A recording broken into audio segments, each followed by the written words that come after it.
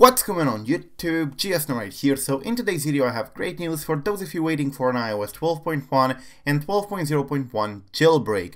Umang has achieved one, apparently, using his kernel exploits and he posted a demo, and if you remember, Umang is part of the Electra team. Now this video is brought to you by Tenorshare and their software iCareFone, which allows you to back up your iPhone easier, manage your files, and fix the iPhone if it's stuck in recovery mode or a black screen with the built-in iOS system repair. Check the program out in the link below. So if you remember, back in September, Umang has posted this, quote, status of my vulnerabilities and a potential iOS 12.x jailbreak. Bugs are alive and well and I'm able to successfully jailbreak my A11 and A10 devices. Can't say about the new ones since they aren't available in India yet. I'm looking at the release timeline for iOS 12.1. Now after that, back in October, on October 30 actually, he said quote, iOS 12.1 breaks remounting again for the root file system and fixing it will take some time. If you want a jailbreak, stay on 12.0.1 or below. My kernel bug still works, so that's a nice silver lining. Now today he posted this demo in here, which is pretty much a full video in which he goes to show that he is able to connect from another device through SSH to his device that ran his exploit. He pretty much created a bare bone jailbreak for iOS 12.1 only to allow him to connect from a device to another, just as a proof of concept. And this demo has actually been done to pretty much mitigate a few complaints from other developers who called Umang fake for not giving more information about the uh, exploit or for giving too little information about his exploit. Anyways, the tweet says, quote, perhaps the jankiest ever demo of a jailbreak, and unfortunately there is no ETA on this or if it will ever be released. So we don't know for the moment whether this is going to see production,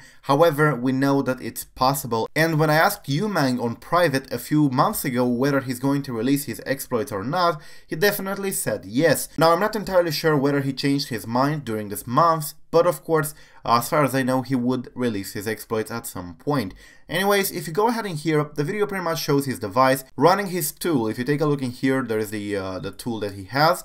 This one in here. It's just a bare bone UI with a button, but it does appear to be working for a proof of concept. And of course, after he presses the uh, jailbreak button, he gets this prompt in there, which tells him that he can connect to the uh, device. And then he proceeds on connecting to that device from a tablet of some sort. And he definitely is able to connect because he's able to run commands on that device.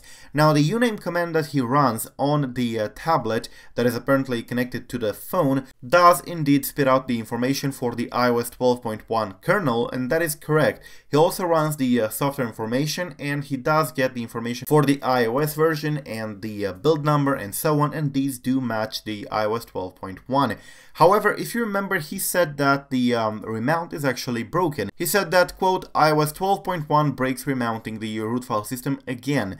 So I asked him how is it possible that he managed to write something to the root file system in the video on iOS 12.1 if it's broken. You can see that I asked him this in here and he said that quote by fixing it. So he pretty much means that he fixed the rootfs issue. However, his answer doesn't satisfy me because he says quote really though it was something with my device as restoring to iOS 12.1 and wiping my OTA installed update fixed it. So yeah, I'm not entirely sure if this is the uh, reason why it worked, because when an exploit doesn't work or a remount doesn't work, usually installing iOS will not fix it. But anyways, he might be right. We do not have access to the code for the moment, and he seems to be very protective with his code. He did not post any proof of concept or any information about where the exploit is or which function of the kernel is vulnerable or anything like that, which pretty much prompted a few developers to call him fake. However, that was before the demo was released, so we do not know whether they maintain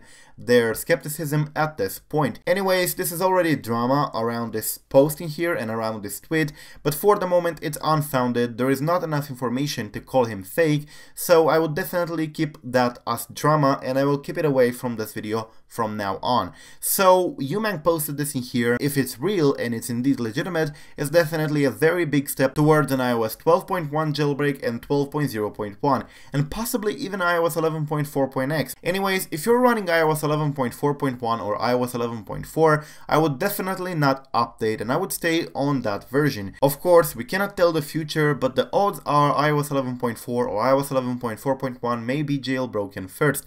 Anyways, iOS 12.0.1 is a better choice if you're already running iOS 12.x. So if you're running iOS 12.1, go ahead and downgrade today back to 12.0.1. I'm not entirely sure for how long iOS 12.0.1 will be signed, so I would definitely recommend you to downgrade right now. Go ahead and save your blobs for both iOS 12.0.1 and 12.1. So this is pretty much it guys, thank you for watching, do not forget to subscribe to stay updated, I'm GeoSn0w, and until the next time, peace out.